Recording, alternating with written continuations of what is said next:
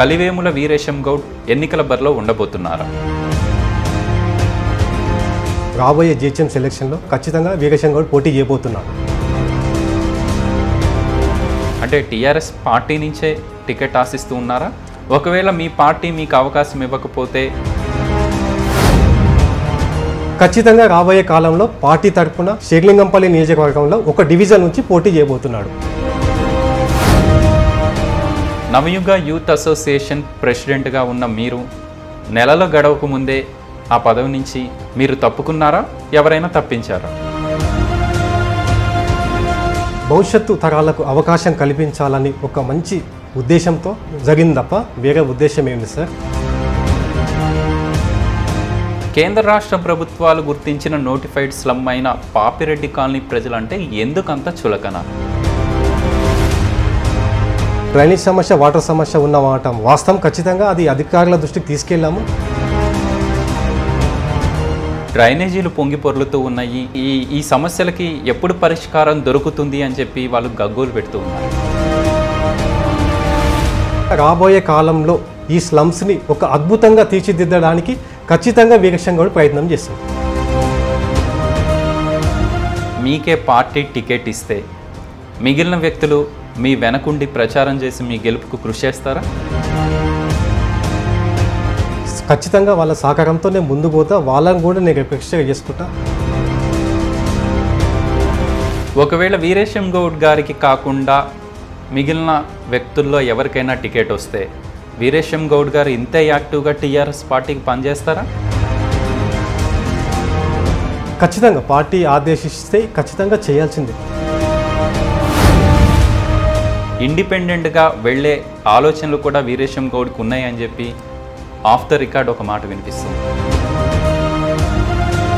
ఒకవేళ ఇండిపెండెంట్కి వెళ్ళాల్సి వస్తే ప్రజా అభిప్రాయం డివిజన్ ప్రజా అభిప్రాయం ఖచ్చితంగా తీసుకొని వాళ్ళు ఎట్లా అంటే నేను అట్లా ముందుకెళ్తాను.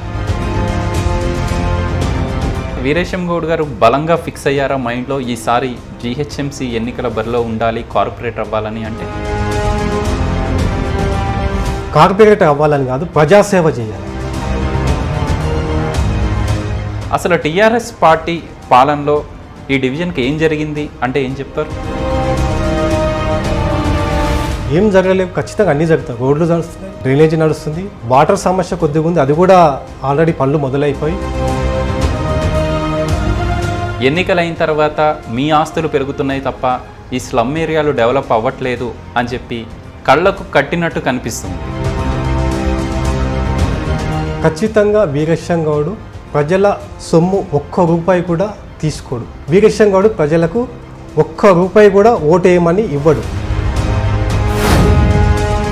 అసలు ఏంటి వీరేశం గౌడ్ గారి విజన్ ఈ డివిజన్ మీద?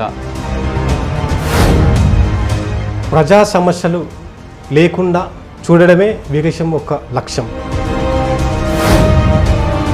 ఎన్ని డబుల్ బెడ్రూమ్ ఇల్లు ఇచ్చారు? ఏంటి సంగతి అంటే ఏం చెప్పదు.